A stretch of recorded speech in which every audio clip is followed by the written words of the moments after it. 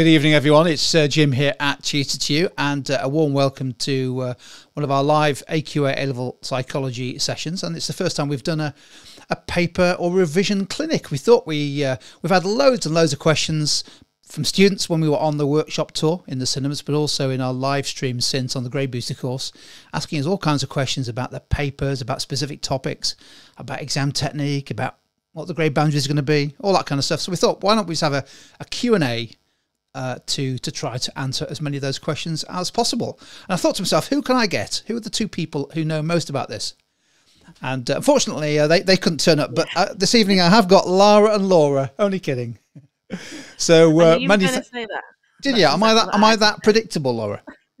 obviously. so the way this works is obviously we've got the live chat here, which is great, and we've got lots of people joining us in the live chat. Um, and uh, so therefore we probably won't get a chance to answer all the questions that come in but we'll do our best or say i say we laura and lara will do their best to answer as many as possible. And uh, what i'll do is i'll stick uh, stick them on the screen. You might spot one lara laura that you think oh i want to uh, pick that one up. So i'll try to find those as we go. And uh, let's see where we get to shall we? I think we're looking for about what half an hour or so maybe a few minutes longer depending on how many questions there are laura yeah, there's think? sorry, there's a question that's just come up that I just want to nip in the bud. Okay. Um, how much non-advanced info should we know? Just to clarify this, don't get confused with other specifications what other subjects are doing. With psychology AQA advanced spec, that is what you need to know. That's what they're going to question you on. They're not going to question you on other parts of the spec that haven't been named in that. Saying that, there are areas of the spec, such as when we look at social influence, resisting social influence, it, it would be good idea to know and be mindful of you know resisting in terms of conformity and obedience even though conformity is not on the advanced spec. So there's little nuggets like that you need to be aware of okay? But you are only going to be asked questions on the advanced spec. Fantastic. Well there's a, there's our first question answered so that's the idea. And uh, we'll try to get as many of those covered as we go. And uh, of course there could be some questions that uh, lara and laura aren't quite sure about the answers to. It's unusual there clearly might be. And uh, the other thing to say is we've no idea at all what's going to be in the exams. We're not involved in in any way, and we're not in not in the game of making predictions. But I know we've had lots of questions. So shall I throw this first one? This was this one came in fairly early, so I'm just going to throw them in there. Laura, Laura, over to you, and uh, good luck with the session. Thank you. I'm trying to keep up with all the questions that are coming through on the chat. There's loads. Can't wait to answer them all. The advanced nice are the researchers that you absolutely have to know. So when you look at the advanced specification, Laura, do trip in when you want, tell me to shut up. Um, in the advanced spec, the researchers that are in there, they're the ones that you absolutely have to know. In other words, they're the ones that AQA can ask you specifically on. Any other research that you've been taught, it's not to say it's not important, but it is to say you won't get asked a question specifically on it. So, yes, you do need to know other research for evaluation, but the absolute research that you must know inside out, like the APFC, aim, procedure, finds, conclusion, all the details, um, you need to know. You need to know confidently, okay? So you need to know the researcher's name, definitely. You need to know the details. So, for example, in attachment, they've asked a question before outline Lorenz's procedure for marks. So you need to know the procedure in detail, for example, for Lorenz. So, um, yeah, all the other studies that aren't quoted in the spec you won't get asked specifically on, but that's not to say you won't need them for evaluation. Laura, do you want to add anything there? No, I think we could we could sit here and recite the list, but there's there's still a fair few, isn't there? Really, um, and I think Laura's right. Make keep looking at the advanced information list because the likes of Milgram's study isn't on there, but the situational factors is so therefore you would need Milgram study anyway. So you know don't rule don't rule certain things out like laura said before as well. And in fact there was a question that just come up there about situational factors. Are they an explanation of obedience? And yeah the answer is yeah they are. And they are on your advanced information as well. Um okay did you pick out any other questions that, that came up uh, early? Should we make sure how does legitimacy so, Eleanor here uh, explanation like cultural relativism. I don't, don't really understand the link. Different opinion traits in different countries. So when you're looking at cultural relativism and culture bias, you don't really need to look at it specifically for the different um, the different smaller explanations of obedience. When you talk about obedience, you are going to talk about agentic state where we we do things because we act on behalf of people.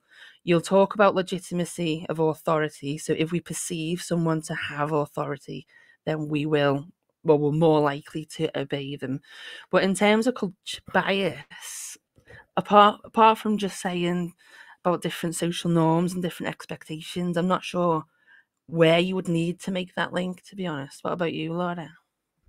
No, I think if Eleanor, if you if you're considering evaluation for legitimacy of authority, I would say be selective with your evaluation. There's definitely easier, more obvious evaluation to be using for those situational explanations of obedience. You know, make mm. sure you are recycling um, Milgram's study, for example, and the variations there that can really demonstrate and support legitimacy of authority in terms of, you know, the location, in terms of the uniform, for example.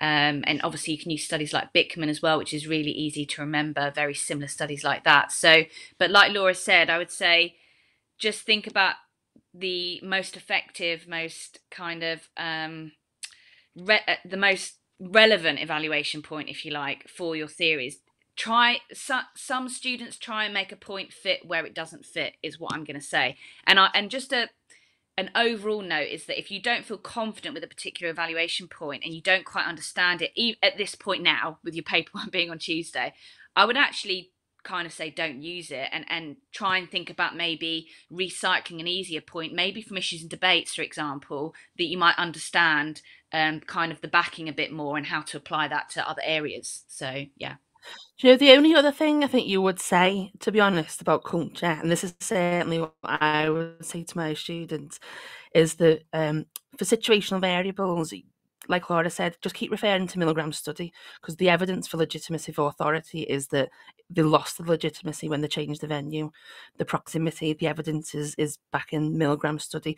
But that still means that you can say that overall, the way that Milgram viewed obedience and the way he designed the study, you can still say that that lacks um, cultural universality or whatever way you want to say it, because it's still an American Western viewpoint of what obedience is, and it's still this assumption that obedience is a bad thing or blind obedience is a bad thing. And of course, that's not the belief in every culture. So that's probably the only route I would go down personally for that one. You, have got better discussions of, of cultural issues in other sections, I think. How much research methods do you think will be in paper one? It's like an impossible question, this one, isn't it? I would say um, no more than normal. I don't think there'll be any more than normal in a typical year. But there are elements of paper one where it's it's almost a natural fit to fit research methods in. So if you do an attachment, I would expect any year, not necessarily just this one, questions on observations. If you're doing something on memory, and we know that there's there's not as much in memory advanced information as there are in some topics so they could potentially we don't know this but they could be planning on putting more research method stuff in there so generally tend to like asking you about experiments about data analysis and things like that I don't think. What do you think, Laura? Laura, I don't think there's ever been anything massively tricky in research methods in paper one. I think they save all the the, the no i mean uh, for us we'd probably say it's not too tricky right the research methods but as we know a lot of students do struggle with research methods and it is very much that basic underlying um, understanding of our key terms which is really going to help you out with answering a lot of the research methods questions that applied in paper one so you know that in the advanced spec none of the research methods has been taken out so I think with that, knowing that knowledge is that you know you should feel most confident on research methods because, as you all know, it is embedded into every single topic. So, yes, it's very hard to predict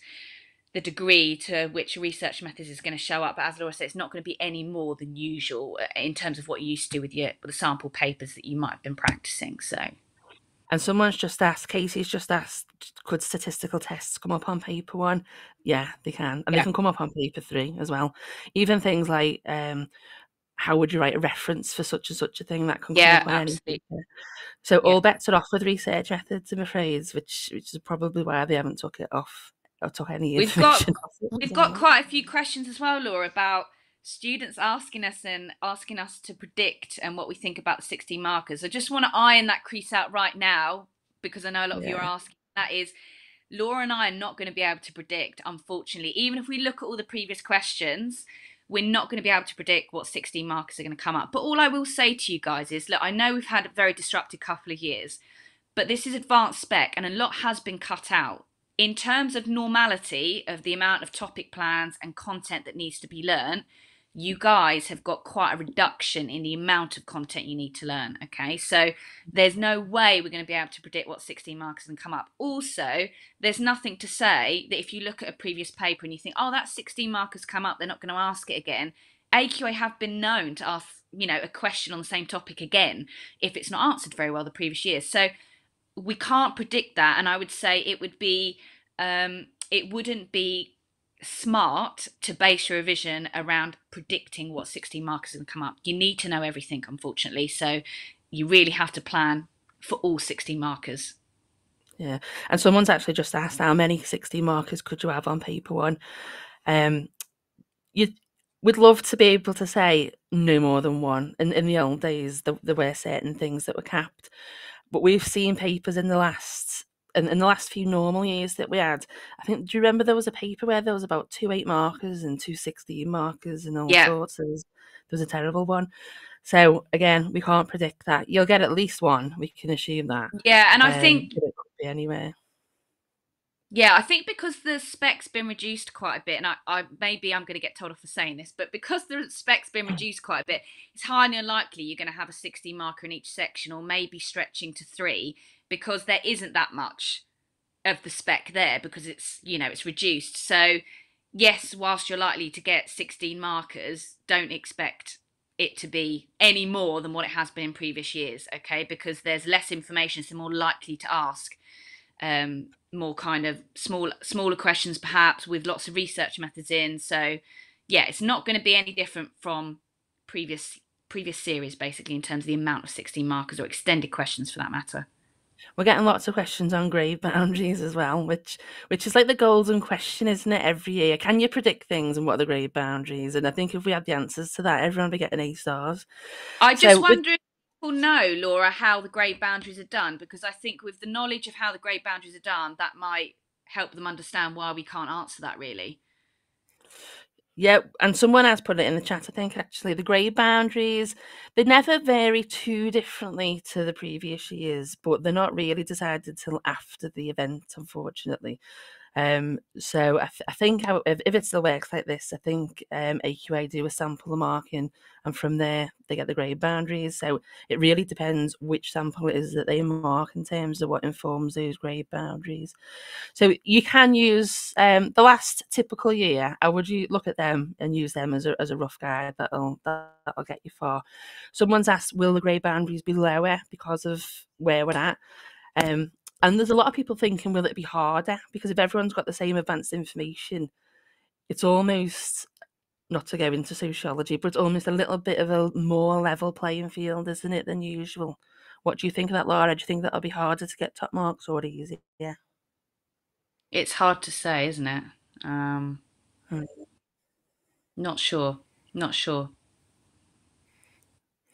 We've I got... think all you can do is just carry on as you are, forget everybody else. The one thing we've been saying to our students is that, for example, everyone knows that the working memory model could be on there. So everyone is going to be prepared to write stuff about working memory model, which means that whatever you write has got to be written better than however anyone else is writing it. And that's why when we did the grade booster, we focused on things like the wow point and the double whopper and single whopper Vega templates, the ways that you write things matters as well as the content and what you put in it. So if we're looking to get higher grades, I think for this year especially, the way that we write things is going to be as equally as important as the content of what we're writing as well. Any more questions coming up? Laura, she said, um, how many marks for AO1 and AO3 and 8 markers and 12 markers? I actually think, do we have this in our... Um, yeah. I think we do. So 8 markers... Um, usually the split is three and five. So there's always, I think, in your head, remember there's generally always more marks for AO3. However, for a 12 marker, the split is usually equal. So six mm. and hmm. six. Um, 16 marker is your six and 10. So again, generally speaking, for the extended, I think even with the 12 mark, you should be spending more time on AO3 because it's a harder skill. Students very easily overwrite on the AO1. So it's just something yeah. in the back of your head that you should be really mindful of that actually, okay, don't overwrite on the AO1, get onto the AO3. It's a harder skill, so it's probably going to take me longer to do thinking and writing. Um, Laura, what do you think about that? Yeah, this is, I mean, this is definitely not the plan of action, but just so everybody knows why it's important to focus on AO3.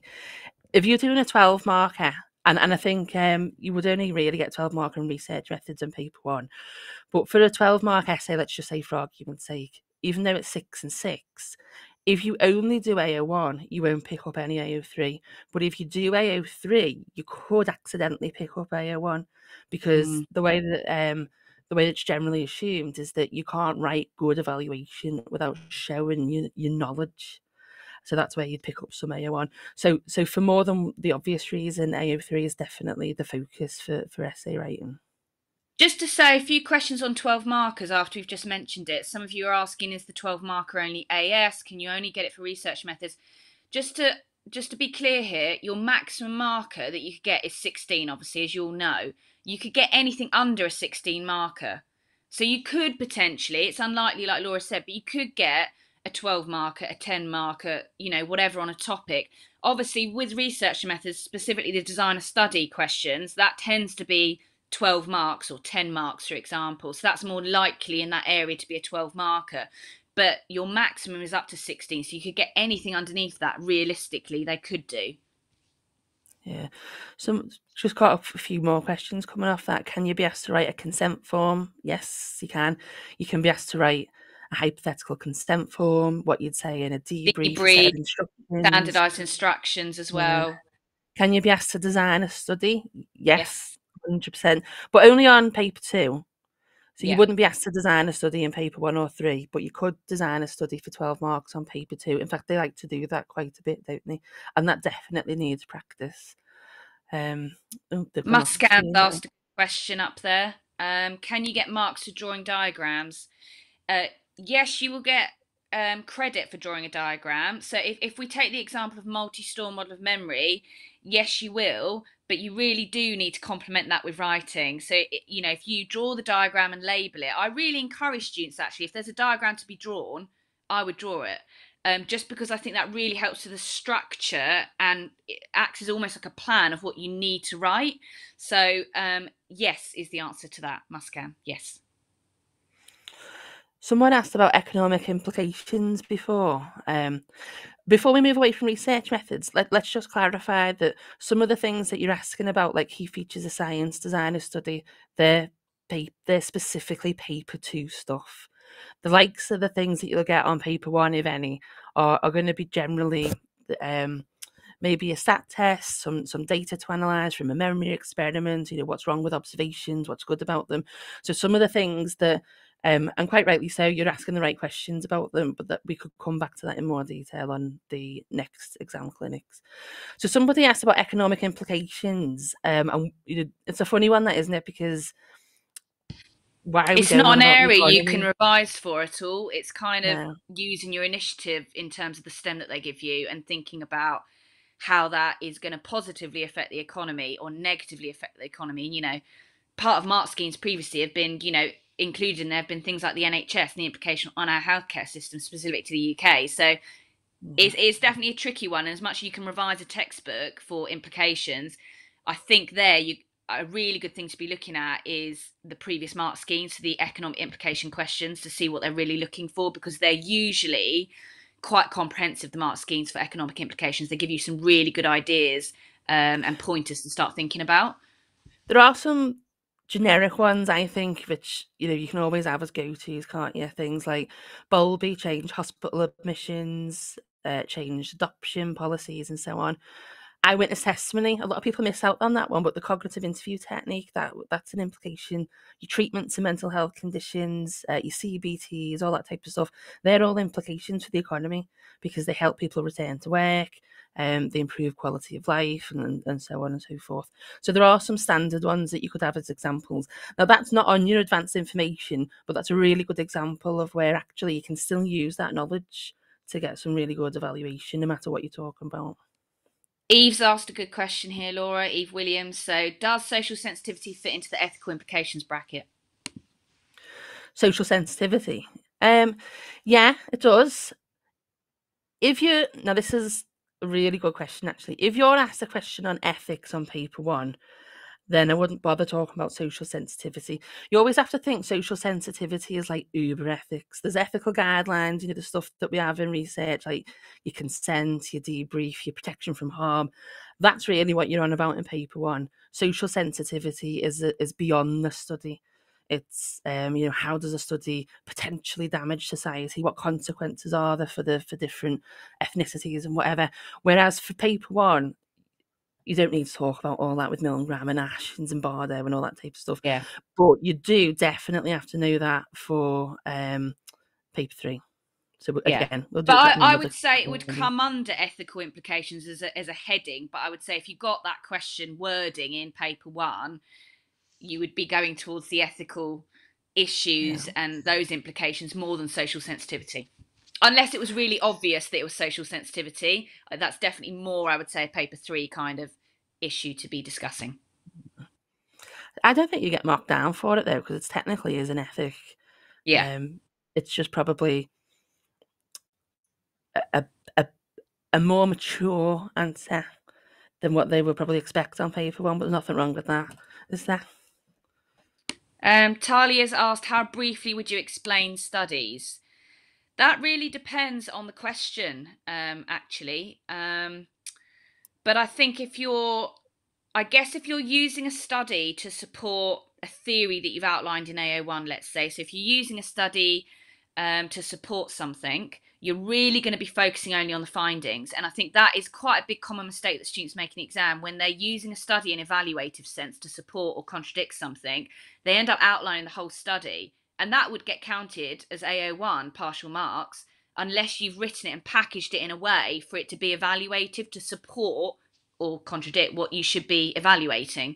So I think that's quite important. In terms of the key studies, so when I say key studies, the ones that are quoted in the advanced spec, um, and you're asked to, let's say, outline, evaluate a research study into whatever topic, you would need to know that in detail. And, and for that, I would outline the full, it'd be the sh- full shebang. So the aim, procedure, finds, conclusion for that.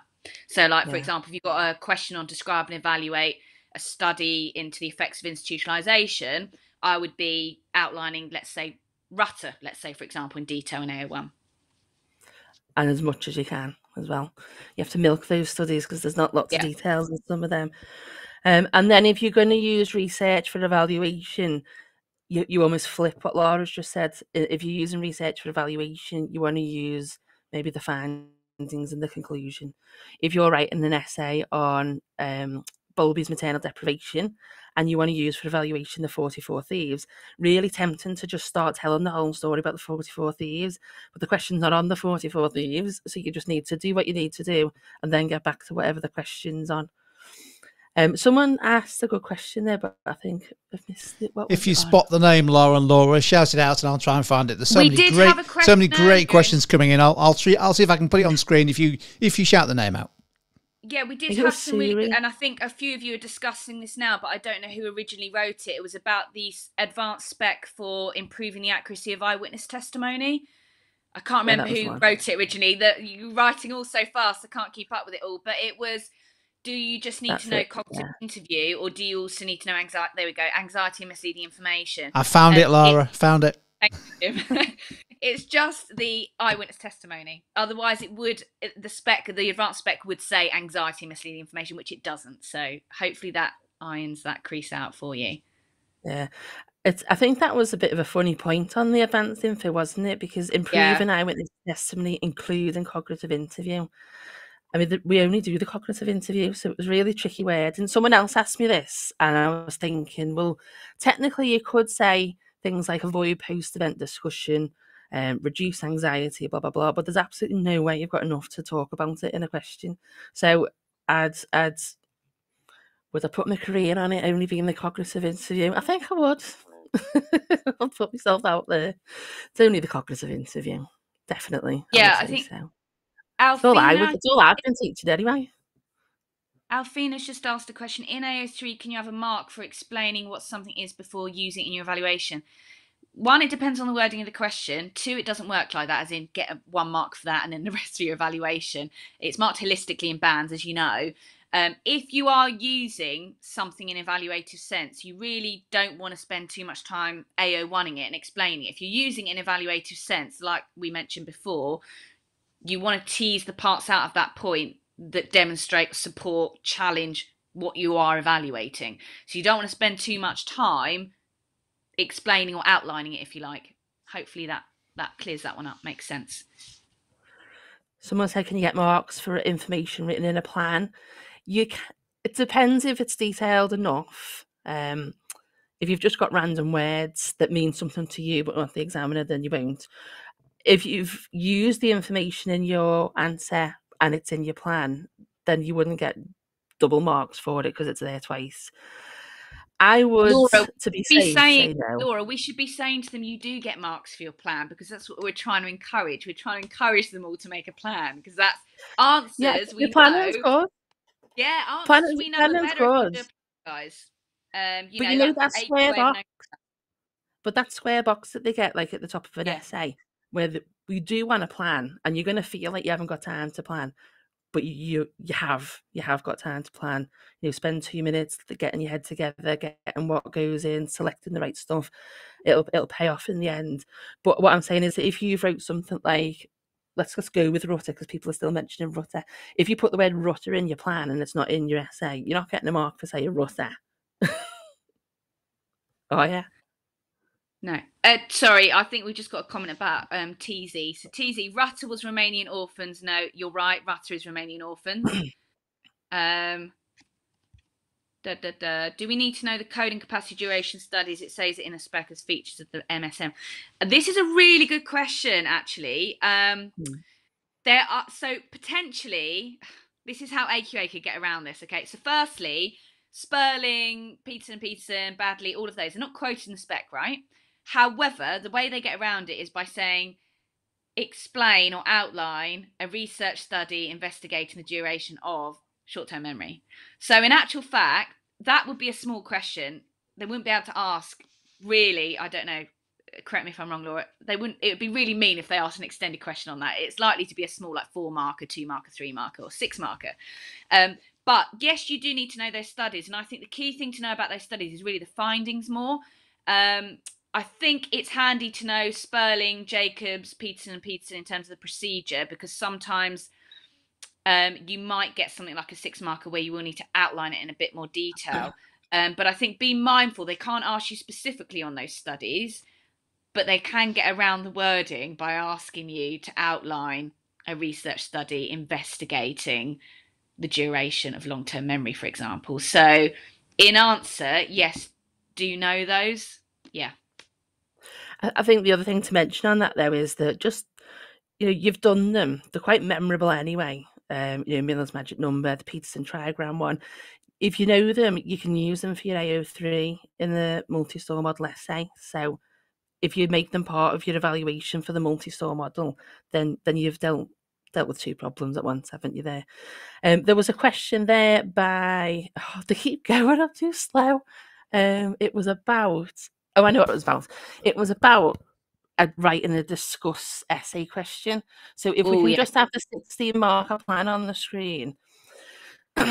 so we do tend to, I mean, all teachers will say if you're asked to discuss something, then it's just outline and evaluate. And it pretty much is. Let's take this question on the screen. Discuss the cognitive interview technique. So for our AO1, we'll do our AO1. We'll talk about the four concepts of, of the four steps of a cognitive interview, whatever, whatever, the A1 for whatever the question is. Now, in an outline and evaluate question, we would just go for it in terms of evaluation. The only thing different that discuss means is that they are going to expect you to put both strengths and limitations. It's good practice anyway to do that, but technically you don't have to in all essays. So if you think about a discussion, it's not just a monologue, is it? It's it's not just you talking about one opinion. It's about listening to another opinion as well. So if you're doing um, some really good effective evaluation anyway, if you're giving a strength and countering it with a limitation, that's discussion. If you give um, two strengths and two limitations, that's discussion as well. So the word discuss doesn't do don't let it put you off. As long as you're writing good evaluation anyway, you should at this point have some natural discussion anyway in your evaluation. Now I, I've put on this plan about having four AO3 points, but um not necessarily again, like I said earlier, it's about the, the way that you write it. So if you can do three good points, and in each of them points you've got discussion, or you've got counter criticisms, or maybe you've made the link to issue and debate, or you've contrasted it with something else, then you, you're writing so well and linking things together, you don't need four points. But if you're not doing these meaty effective evaluation paragraphs then then try and get more points in because there is what we call a breadth depth trade-off you got anything um, else on that, Laura? No, no, nothing else on that. I mean, just really kind of, uh, yeah, the the evaluation is all about quality over quantity, and I think too many times as an examiner, seeing too many kind of extended questions, too many extended answers, where it's almost like a shopping list of points, and it's like a couple of sentences, and I think a really important thing to do, and I know it sounds really pedantic, but when you do your evaluation, leave a line space between each evaluation point because you can visually see then have you written enough? And too many students are writing as a block of writing. And when I go through my students that feedback, I'm like, well, put a double dash for each point, and they find that one of their points is literally a sentence. And I'm like, well, that's not elaborate enough. You haven't explained yourself. So always you know, leave a line space per point and have it as a separate paragraph so you can visually see and check in with yourself and be like, right, does that look like enough for an evaluation point? Probably not. Mm. I need to add detail. Um, Tanya's asked before, so I'm just going back at some of these uh, questions. Um, Tanya, you've asked, it says on advanced spec, this this shows the major focus of the content of the exam. How does that equate to that being all that we are examined on? We can confirm that is all you're going to be examined on. I think it's been uh, it's been a question that's been asked quite a bit at the start when this was released. Um, you won't be asked on any other facet of, of the actual spec that hasn't been put in the advanced specification. So just to clear that one up, Laura, do you do you want to uh, add into that? Just um, for research method, don't panic if you see something that's not on the advanced spec. It'll probably just be in a research methods question, and therefore yeah. the questions on research methods, not that thing itself. Yeah. I think that's panicked some people in some GCSE tests, haven't it? Um, will you be limited in marks if you don't remember the names? Um, I don't know what you tell your students, Laura, but I'm 100% sure that you won't. No, you won't. You won't get. Um, it won't have an effect on your overall marks. The only thing I will say, if you are going to say research has found, let's say you've forgotten the researcher's name. There are so many to remember, and of course, a lot of you have probably been told to put that, and that's totally fine, by the way.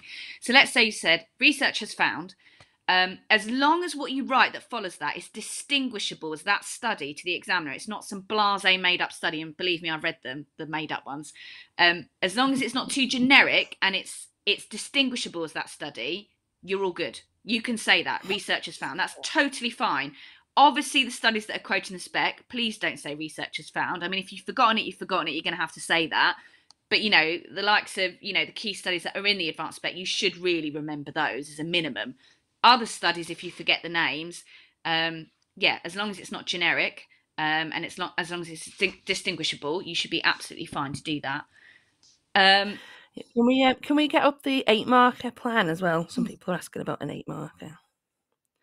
So if you get an eight marker, um, then it's it's half a 16 marker really isn't it? Um so i would always plan it like this. You could i think do someone asked could you just do one evaluation point? And i'm going to say yeah but that evaluation point needs to be amazing. It needs double to have a counter. Yeah it needs to have a counter criticism in there. It needs to have a good conclusion. It needs to show enough skill and enough knowledge in that one point that you don't have to do anything else for evaluation, which is why some people um, would prefer to, to do two. So you could you're more likely to to get full marks with two, I would say, than one, but it's not impossible to do it with one. And then if we could just put the 16 marker back on, because somebody asked about what if this came up as a AO2 question. So in this one that's on the screen, this is AO1, AO3. So the marks are roughly split six and 10. If this was an AO2 question and we had a little story there that we had to apply to as well, then the marks roughly go six for AO1, four for AO2, and six for AO3. So all I would do, if you want to visualize it now, I would just borrow two of them AO3 boxes, put them in the middle, and change it to AO2. So you still have some AO1, you do a bit of referencing for your AO2, and then we go back to normal evaluation. So if you if you if you plan your essays, you could even just jot something down like that and plan essays like that, and it's a really good, quick, easy way to visualize what you'll need. Um, we mentioned the double whopper there, so let's have a look at that. If you are going to go for writing less points but writing them better, then this is the type of structure that you've got to have in your evaluation. So you can't, if you're going to go for writing less but um, writing better, then we can't just be saying things like such and such a study supports this theory, or one limitation of is this, therefore it's a problem. You're going to have to really develop it. So you want to start off with what your point is, a strength or criticism, and what it is, and that's normally only a sentence. Give us the elaboration. So if you're using a study, that might be where you um, go into detail about it, like the 44 thieves and you know, what it is they found, what they concluded. If you can then talk about issues and debate, great. If you can alternatively counter it, so you might say that one study to challenge this, however, it is, or however someone else has disagreed, because we start knitting this chain of discussion together.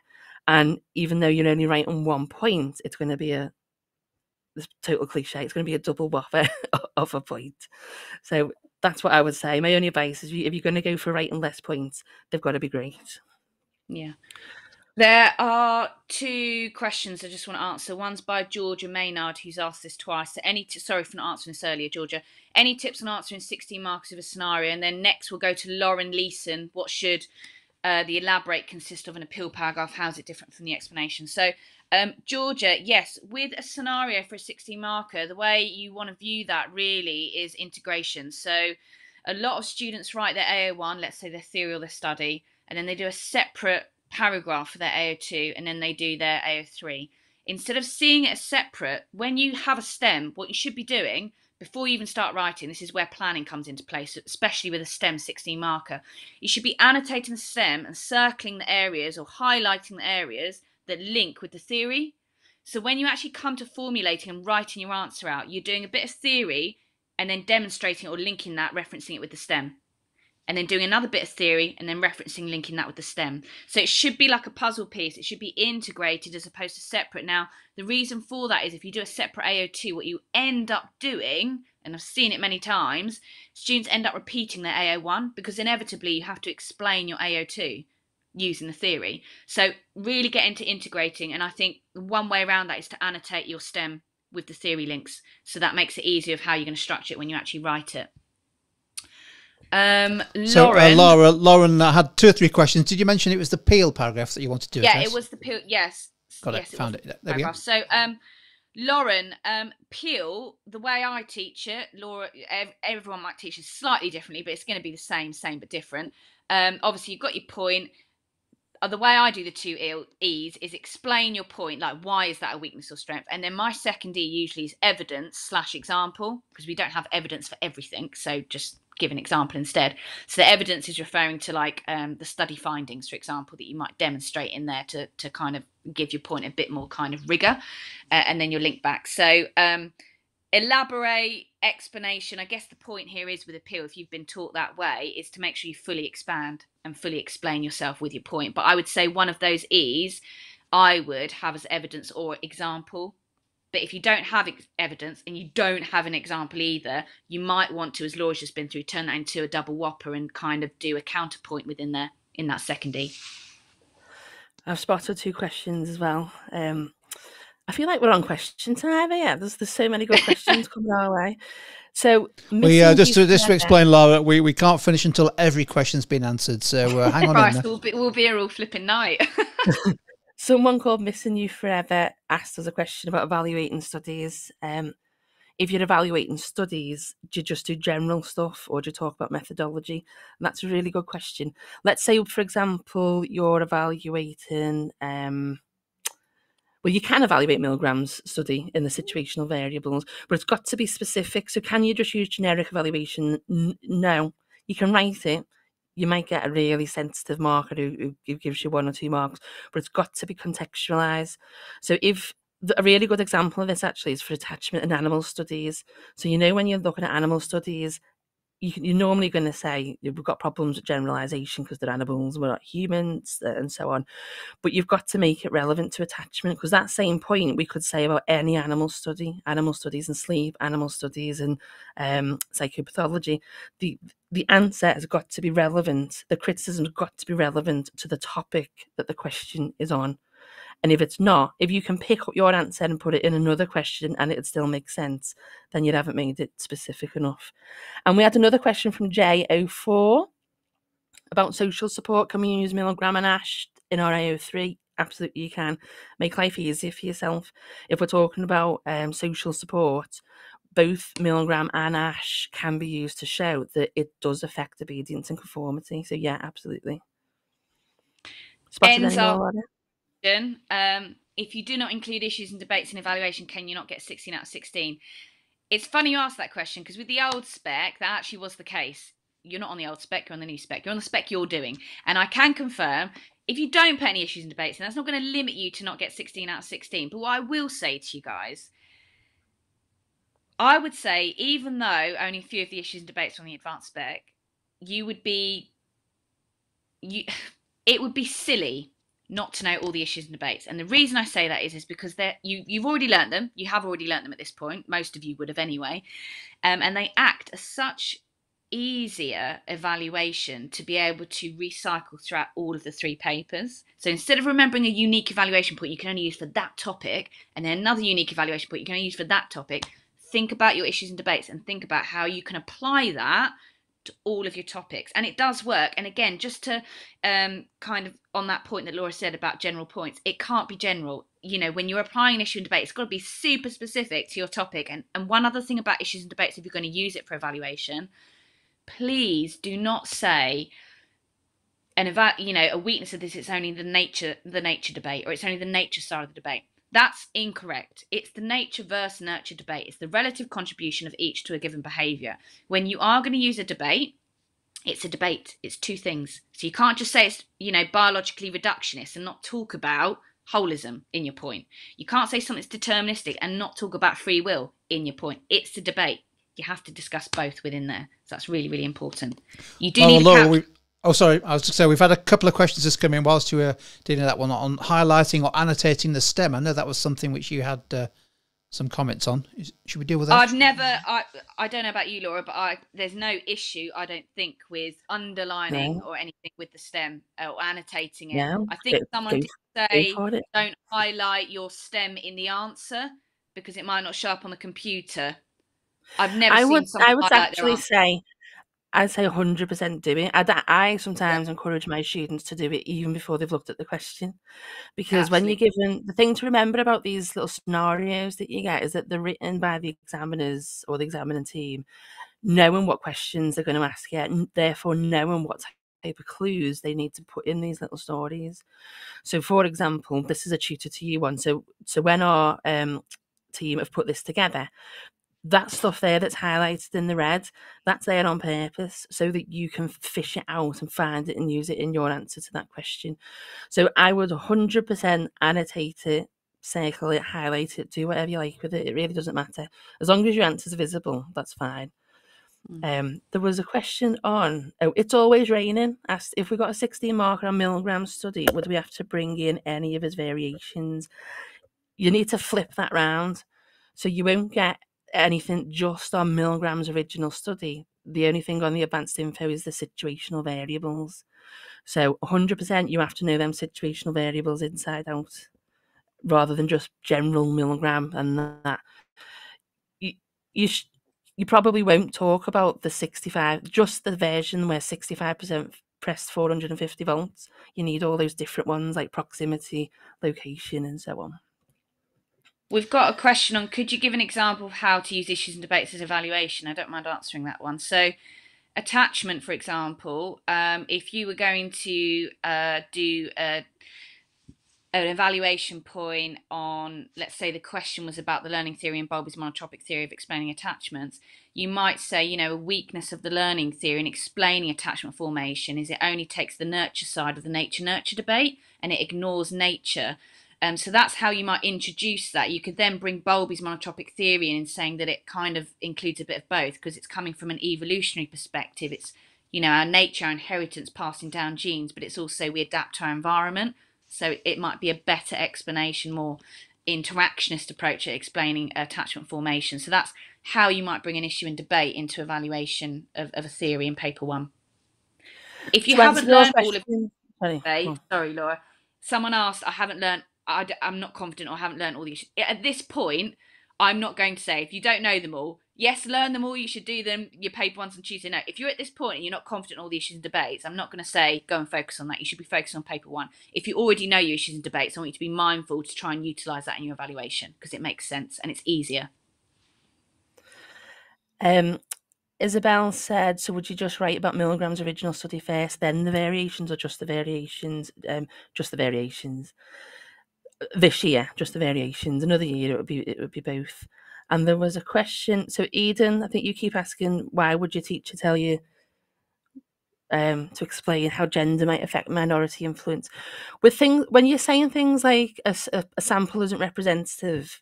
So if it's only men or it's only women or it's only Americans or whatever, then you do need to go beyond and say why that's an issue. Otherwise, you just look like you've got an issue who with with whoever was in the sample. So generally with with gender, you can talk about biology. There's biological differences. So, you know, even down to levels of oxytocin and, and hormones and, and chromosomes, women respond differently to men to some situations. So when you're looking at conformity and obedience, that matters, doesn't it? Some of those biological differences make us more likely to obey and conform, but only biologically. And then socially, socially, women are more socialized to be obedient than men. So I reckon, uh, Eden, that might be what your teacher might have been asking you to, to think about. You can't just say a sample was only men and it can't apply to women, and therefore that's a limitation. You're going to have to convince the examiner that there's a difference there that does matter. And if you can't, I'd probably pick another point rather than just write write a sentence or two on it. Oh, we got a good question are there are the differences in the heads of the fake monkeys in Harlow study counted as confounding variable? Um, arguably, the cloth covered mother had a more monkey like face. They should that should have been controlled. They had different faces. You're right, and well done for noticing that. And the wire monkey definitely didn't look so much like a, a monkey face. Um, you could arguably say that that may have confounded the DV slightly, and that could have been a reason, one of the reasons why they may have spent more time on the cloth covered mother. I mean, you could bring that into play, into evaluation. I don't think you'd get far with it, though. To be honest, do you not think? No, I mean it's not wrong. I just don't think beyond saying that. I don't know what else you're going to say. There's there's better things to select. Yeah, there's definitely um, better evaluation, but in terms of extraneous or confounding, because it's it's done, it, it, it would have affected the DV potentially. It would be seen as confounding out of those key terms. Hmm. A funny one, that isn't it? Everyone loves that study. Um, it's the same with the likes of the Bobo doll. When when there's an opportunity to talk about it, people write loads, but you've got to remember what they're asking you for. If they're only asking for results, only write results. If they're asking you for procedures, only write procedures. Just because you know it all doesn't mean that it's all relevant for the question. Um, well, have you have you spotted another one there, Laura? I'm just trying to read them all. It's come through so far. Uh, Is there Loftus and Palmer on memory uh, in a normal year? Yes, not on not this year. Um, we've done that one. My invigilator stopped me using my highlighter in my mock. I think that is a coincidence. You're only allowed to write your answer in black pen, and that's because it gets scanned. So make sure you got your black pen. And someone asked before, can you should you take a calculator? Yeah, take a calculator to all your exams. Um, you can use your highlighter. Um, I think that was just an, an, an overly conscientious invigilator. We've had this question a few times, Laura, which is how do you evaluate neural explanations of OCD? I think a lot of students struggle with the biological explanations and treatments yeah. of OCD. I would say biological is actually it could be quite easy to to evaluate actually. So you could definitely compare and contrast that with other approaches to explaining mental health disorders, as well as there is a whole amalgamation of issues and debates that you can use. So although this isn't an issue in debate on the spec, but um, the fact that it has scientific rigor as an explanation when explaining um, that disorder um, or any disorder. You could also use that it's biologically reductionist versus holism. You could say um, nature nurture as well in terms of the explanation. So there are quite a lot of issues and debates that you can apply there, as well as studies that you could use, as well as the fact that it's created drug therapy, which has been great, means people can live their lives successfully that have, you know, really severe symptoms or really crippled by their illness. So there's actually quite a lot of evaluation potentially for, uh, you know, in terms of a biological explanation that you could potentially utilize there. You know what I always think is um, just it feels like a bit of an oversight on the biological explanation. If you just think about what OC stands for, obsession and compulsion. So an obsession's a cognition, and compulsion is a behavior and none of them are acknowledged by, by, the biological approach at all. So you've got even that type of stuff that you can talk about. We've got a massive section on that actually in our grade booster support package because we know it is one that um, people struggle with a lot. I think it's just the biology nature of it, isn't it? Because it goes into the genes and the brains and it just seems too biological. But if you can if you can evaluate the biological approach for paper two, then you can borrow some of them points and contextualize them for OCD, I would say.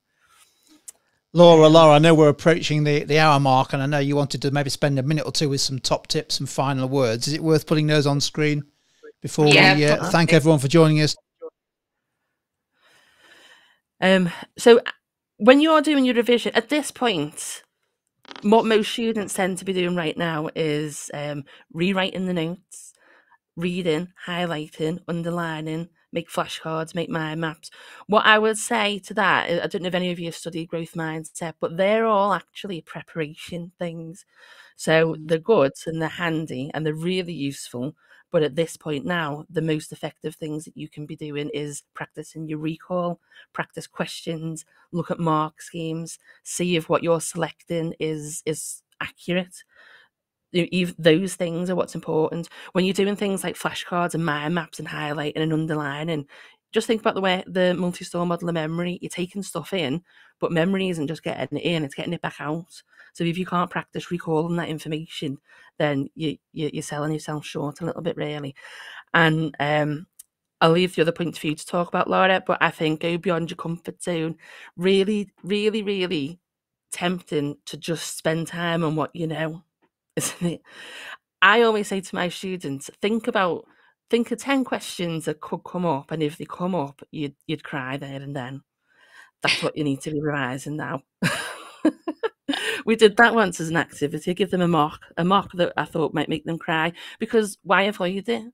You know that's it's just the unlucky nature of life that those things will come up but if we can uh, prepare for them great. What yeah i think, think going on what Laura said with going beyond your comfort zone with the I, I I say to my students stop writing detention lines out which is basically rewriting your notes out again and again and that may have worked way back in the past when you're at school I don't know but at this stage with what they're looking for and how this is being assessed and the skill base that you need to build up where you where you're going to be increasing that skill base is really exam style questions um, and going beyond your comfort zone. Even if you feel like you don't know, I think a lot of you are going to be really surprised about what's actually stuck up here. And the only way you're going to feel confident that you know it is by actually testing yourself without your notes and in time conditions at home, and then looking at the mark scheme and learning from it, or knowing and thinking, Christ, I did actually really well on that. I thought I wasn't doing too well, and I was going to spend the whole hour revising it when actually you know it really well. So I think, you know, exam style questions and, and going out of your comfort zone at home and not doing what you normally do is actually really helpful um, going forward.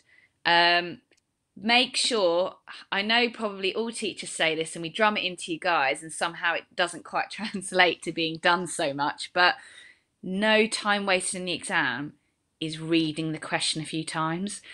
Two, I would say the majority of mistakes, like literally the majority of mistakes in the exam in AQA, are made from not reading the question properly and, and, and not slowing down.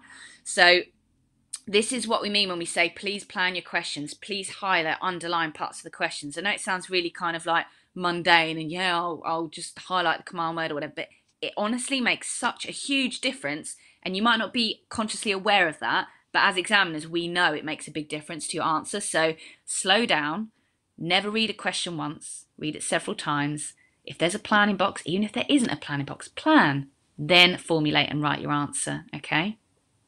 You know, before we finish, I'm just seeing something come on chat now. There's some confusion going on about abnormality. Definitions of abnormality is on there. Um, can you get a 16 mark question on them? Yeah, you can. Some of you have said that there's not enough AO1 to get an essay question on. There is. There's probably, you're not likely, I've never seen one, a question on just one of them. They normally come as a two or it might say one or more. But you definitely yeah. can, and it definitely is on there. So if you've got questions about what is and what isn't on the advanced information, check AQA website, check with your teacher. Um, just just don't go into there with some duff information. Wow, we have reached the hour mark, and uh, unfortunately, we only pay uh, by the hour, and I can't afford another hour uh, of uh, the specialist expertise from Laura and Laura. But that is well done, the two of you. I mean, what an, what a fantastic uh, student audience with some great questions. Also, what you don't see on screen, maybe you're joining us uh, on replays, you don't see the number of students helping each other and answering yeah. each other's questions and encouraging people and um, putting a, an arm around the shoulder to say you're going to be fine. It's been happening the whole time in the live chat, which uh, yeah. not, not it's not a surprise, not a surprise, but it's great to see. Uh, so we really do appreciate everybody who's contributed here live and um, making Laura and Laura's job so hard because there's been so many questions. Someone's just said, um, "Will we be doing a session on psychopathology?" So I think this is the only clinic for paper one, uh, with it being on Tuesday, and we we don't want to panic anyone the night before the exam. So the next time we'll do this is for paper two. But in our grade booster, we have got um, hours and hours. We've, we've put it on uh, just a few days ago. We've got an hour on every topic that's in your advanced information. And then we've got an hour and a half of question walkthroughs where we do something like this, but we just put a question on screen, tell you how to answer it, you go and answer it, we look at a model answer. So the types of things that you're asking for if you found this beneficial, you you'll absolutely find that gold dust. So uh, get yourself. Well, yeah, ab- well done. I mean, yeah, we're not not here to try and sell uh, Grade Booster, but get yourself onto Grade Booster because obviously everybody. I mean, we had about three thousand students when Jimmy joined us in the uh, yeah. in the cinema tour, Just and uh, an amazing there. course, an amazing course. Yeah. Uh, but as you and say, everything everything there. Our, yeah. um, on our grade boosters, our live revision sessions that we do weekly, are only mm. live streamed to the Grade Booster students now. So they're not just available for you guys on YouTube anymore. They're just for Grade Boosters. So really, really worth it. Because um, obviously, you know, resources are going to be continually added to that as well, especially running up yeah. to each exam paper. So I'm, make, I'm, making it sound like a QVC shopping channel, aren't I, Lara? But uh... we'll stop. Everyone, we'll stop there's some people getting panicked here, and, and you're yeah. scared. And you know, all I'll say just to finish us off is that it'd be bizarre and worrying if you weren't for the start. But also, you've got to get your head around the fact that you don't have to remember everything. You've just got to you've got to apply your skill. Read the question, plan your answer, select some of the right stuff, write it well. It doesn't matter about how much of the content you know and how well you know the likes of Milgram. You can't write about it, it's not going to get you very far.